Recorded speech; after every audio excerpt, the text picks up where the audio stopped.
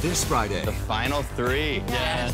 The final three models battle in part one of the fierce two-part finale. It's just extremely special to me. I'm trying to just keep it together, honestly. If I win this competition, it'd definitely be a rags to riches story. It's just awesome. And just when it's go time, there's one more twist. I have a very important announcement to make. What is going on right now?